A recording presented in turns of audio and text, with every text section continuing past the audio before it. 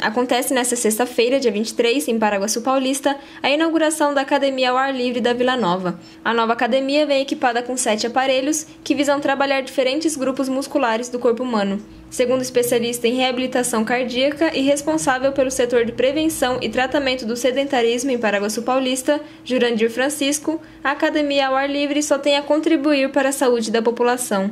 Esses aparelhos, eles, eles são super importantes para que a pessoa melhore sua saúde, sabe? E com isso, é, adquira um hábito de atividade física, né? Que uma grande parte da população não tem esses hábitos. E eu acredito que toda a cidade está instalando esse aparelho, ele é muito importante. Você chega do seu trabalho, tem uma academia próxima à sua casa, precisa exercitar, sem custo algum, né?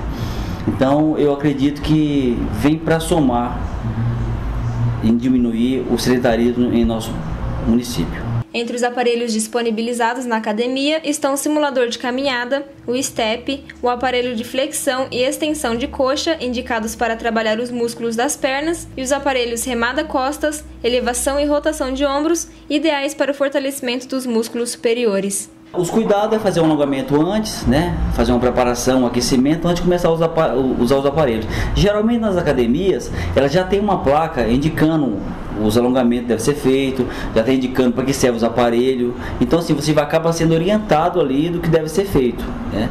O importante é sempre alongar antes de começar as atividades e não exagerar. A inauguração será realizada às 9 horas da manhã. A Academia ao Ar Livre da Vila Nova fica localizada em frente ao ginásio de esportes Zé do Pito. O melhor horário seria na parte da manhã ou final do dia. Evitar aquele, aqueles horários muito quentes, né? De meio da tarde. Então, ou vai de manhãzinha ou vai no final do dia, que é o melhor horário para se exercitar. Procure se hidratar bem antes de começar as atividades, sabe? E procurar fazer no mínimo três vezes por semana para ter um bom resultado.